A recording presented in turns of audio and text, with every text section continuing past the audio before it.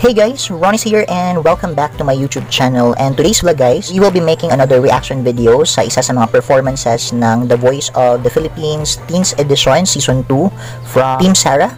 I'm talking about Hannah versus Andre. Kinanta nila ang song na Best Part at nagustuhan ko ang song choice dahil lately napapansin ko yung mga song choices na ibinibigay ni Sarah Geronimo sa kanyang mga artists is parang mga song na nagawa na niya at if I am not mistaken I think kinanta na to ni Sarah Geronimo sa ASAP with Inigo Pascual so sobrang cool ng performance nilang yun um, speaking of Andre and Hannah sobrang cool din ng kanilang performance kaya nahirapan si Coach Sarah pumili kung sino yung mag-advance sa knockout, knockout rounds. So pag-usapan natin ang song choice, yes nga, nagre-require lang siya ng parang uh, relax lang na singing. Yung parang mag enjoy ka lang habang kinakanta mo yung kanta.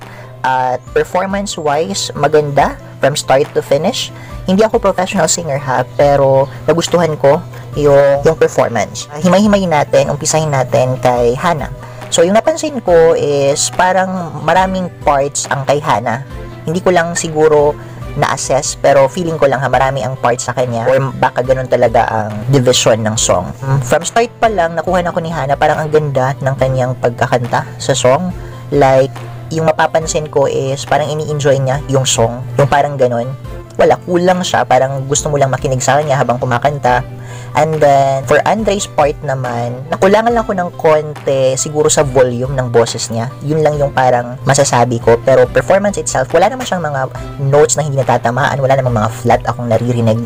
At first, I'll be very honest, kahit maka-team Sarah ako, hindi ko actually, I mean, kung papipiliin ako sa dalawa, base lang sa aking assessment dun sa performance, parang nagustuhan ko yung pagkakanta ni Hana. Maybe because parang cool lang siya from start to finish.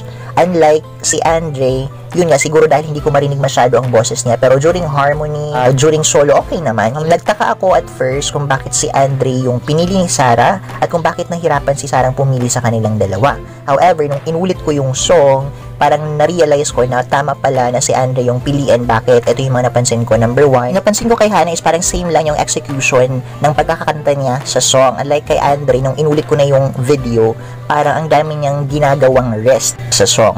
Kasi may mga part or lyrics sa song na kailangan talaga hindi ka magpa-flat or kung gusto mong baliin para naman, you know, maswabing pakinggan, kailangan on point. At parang napansin ko yun kay Andre, parang yung mga parts na kailangan ng mga, alam mo yun, riffs, runs, or mga kulot-kulot, parang ginawa ni Andre. So kahit konti na yung parts ni Andre, parang nag-rest siya sa kanta which I think yun yung mga parts na kailangan tingnan. Siyempre alam yun ni Coach Sarah kasi siya yung pumili ng song at siya yung nag-coach sa dalawa. At I think yun yung basis na rin ni Sarah kung uh, paano nila bibigyan ng sariling flavor yung kanta.